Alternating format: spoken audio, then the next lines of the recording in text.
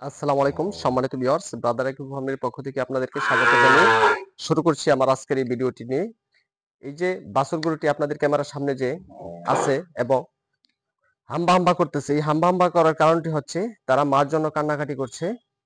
এখন তাদের মা কোথায়? বিষয়টা হচ্ছে আজ থেকে প্রায় সাত আট দশ দিন আগে আপনার বাজার থেকে আমার এই সহকর্মী এগুলোকে কিনে নিয়ে আসে এবং খামারে এসে দেখতে পাই যে এই বাচ্চাগুলো কান্নাকাটি করছে তাদের মার জন্য কারণ এখনও কিন্তু এরা মার দুধ খাইতো। তো এই ধরনের বাচ্চা বাজার থেকে কিনে না না কিন্তু খুবই ভালো।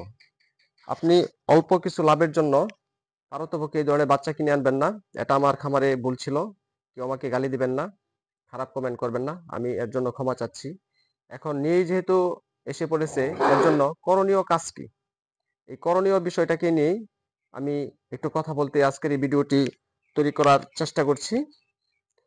এই জায়গায় যে কাজটি করতে হবে, দেখেন এই বাছুরগুলা কিন্তু আপনার দুইটাই বকনা বাছুর তো এই ধরনের বকনা বাছুর খামার এনে লালন পালন করে খামার কিন্তু লাভবান হওয়াটা খুব কঠিন ব্যাপার।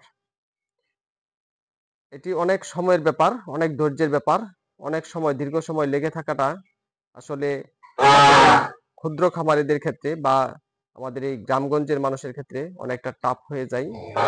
তো লাভবান হওয়ার সম্ভাবনা কম থাকে, লাভবান হওয়ার আগে আগেই কোনো না কোনো কারণে হোঁচট খেতে হয় অথবা খামার বিনষ্টের কারণ হয়। যাক, আমি সেদিকে যাচ্ছি না। এখন আমি আসছি যে কি করতে হবে? দেখেন, এই বাছুরগুলা কিন্তু ঘাস, খড় এবং দানাদার খাদ্য, এগুলো কিন্তু খায়। এবং স্বাভাবিক বড় গরু, স্বাভাবিকভাবে বড় গরু যেরকমটা খায়, খাবার চিনে, তারাও চিনে। ডিফারেন্সটা হচ্ছে তারা এখন মার দুধ পাচ্ছে না, মাকে পাচ্ছে না। এই জন্য তারা কিন্তু এদিক ওদিক তাকাচ্ছে এবং মার জন্য কান্নাকাটি করছে। অর্থাৎ দুধের একটি পিপাসা এটি তাদের মধ্যে রয়ে গেছে। এখন এই ধরনের বাচ্চাগুলো কেউ বাজার থেকে কিনবেন না এটা আমার আপনাদের কাছে অনুরোধ রইল এবং আমি আমার ভুলের জন্য ক্ষমা চাচ্ছি। কিছুই করার নেই। এখন যে কাজ করতে হবে যদি আপনার হাতেও এই ধরনের গরু কোনো না কোনো ক্রমে যদি এসে পড়ে তাহলে যে কাজটি করবেন সেটি হচ্ছে আমরা যে ভাত খাই খাওয়ার সময় ভাতের একটি মার হয়। যে মাটি ফেলে দেওয়া হয় অথবা কোনো কোনো খামারি বা যারা গরু লালন পালন করেন, তারা হয়তোবা এটি গরুকে দিয়ে থাকেন। তো আপনি গরুকে না দিয়ে, অন্যান্য গরুকে না দিয়ে আপনি এই যে, এই বাচ্চা যে গরুগুলো আছে, এই বাচ্চা গরুগুলোকে আপনি রেগুলারলি এই বাতের মাঠটা যেটা হয় আপনার বাড়িতে, সেটা খাওয়াবেন অথবা আপনি বাতের মাঠটা তৈরি করে খাওয়াবেন। দ্যাটস আপনার এটা কিন্তু কাজে আসবে এবং এটা শারীরিক কোনো ঘাটতি হবে না। এই বাচ্চাটা অল্প কয়েকদিনে, এই মাত্র আট দশ দিনের ব্যবধানে কিন্তু অনেকটা শুকিয়ে গেছে।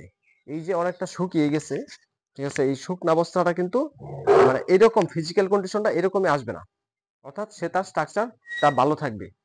আর অন্যদিকে হইল যে প্রশ্ন আসে যে বাজারে তো আপনার গরুর জন্য বা গরুর বাছুরের জন্য দুধ পাওয়া যায়, কিনতে পাওয়া যায়। ওই দুধটা কিনে খাওয়াবেন কিনা? দেখেন, এই স্থানে যেহেতু বাচ্চা গরু এনেছেন এবং আমি খামারে ঢুকিয়েছি, এই ক্ষেত্রে আমার সবচেয়ে যে বড় হিসাবটা সেটা হচ্ছে যে খরচ। এই জায়গায় আমি একটি গরু কিনে আনলাম কত টাকা এবং এই গরু পারপাস কত দিনে কত টাকা আমি ইনভেস্ট করলাম এবং আমার আরওআই রিটার্ন অফ ইনভেস্টমেন্ট আমার কত সেদিকে একটি ক্যালকুলেশন করতে হয়। স্থানে আপনার বাজার থেকে কিনে আনা দুধটা খাইয়ে এই টাকাটা খরচ করার কোনো প্রয়োজন নাই। এই টাকা দিয়ে আপনি দানাদার খাবার সে যেহেতু খায়, ওইটা আপনি খাওয়াতে পারেন।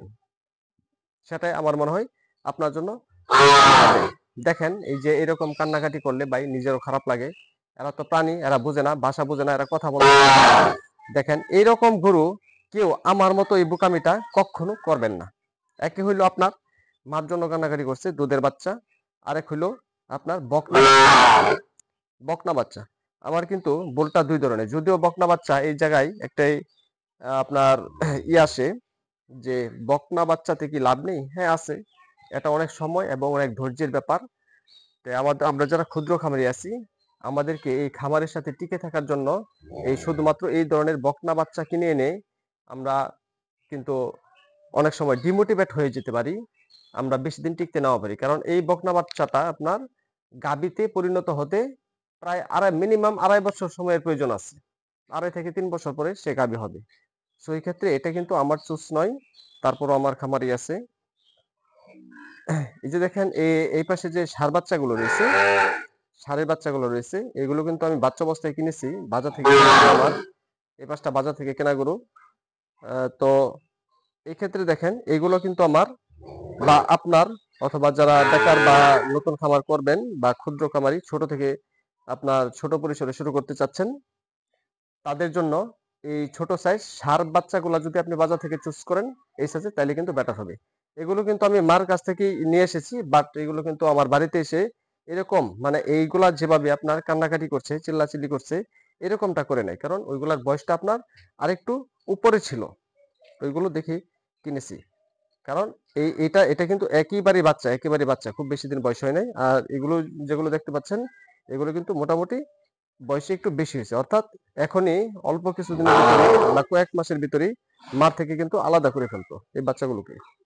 এরকম ধন্যবাদ আমার এই ভিডিওটি সম্পূর্ণ দেখার জন্য এবং ভিডিওটি ভালো লাগলে লাইক করবেন এবং কিছু আমাকে পরামর্শ অথবা জানার অথবা জানানোর যদি থাকে তাহলে কমেন্ট করবেন এবং নোটিফিকেশন বেল বাটনটি বাজিয়ে রাখবেন আমার খামার রিলেটেড ভিডিওগুলো অথবা কৃষি রিলেটেড ভিডিওগুলো পাওয়ার জন্য। আসসালামু আলাইকুম।